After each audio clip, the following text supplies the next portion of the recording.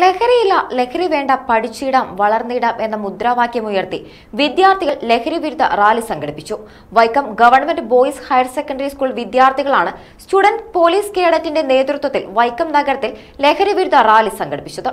സംസ്ഥാന സർക്കാരിന്റെ ലഹരി വിരുദ്ധ പ്രവർത്തനങ്ങൾ രക്ഷിതാക്കളിലേക്കും പൊതുജനങ്ങളിലേക്കും എത്തിക്കുന്നതിനു വേണ്ടിയാണ് സ്കൂളിലെ സ്റ്റുഡന്റ് പോലീസ് കേഡറ്റിന്റെ നേതൃത്വത്തിൽ റാലി സംഘടിപ്പിച്ചത്.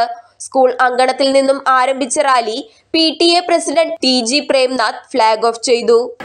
ബോയ്സ് ഹയർ സെക്കൻഡറി സ്കൂളിന്റെ ലഹരി വിരുദ്ധ യാത്രയാണ് ഈ വൈക്കം ടൗണിൽ നിന്ന് നടക്കുന്നത്.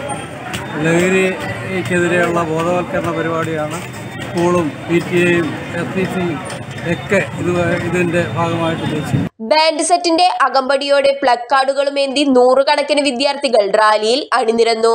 Kacheri Kavala boat jetty private stand K S R T C Kochukavala വഴി നീങ്ങിയ റാലി സ്കൂളിൽ സമാപിച്ചു. Principal F John headmaster Santhosh Kumar അധ്യാപകർ പി ടി എ ഭാരവാഹികൾ തുടങ്ങിയവർ നേതൃത്വം നൽകി. Enlight news Vaikom.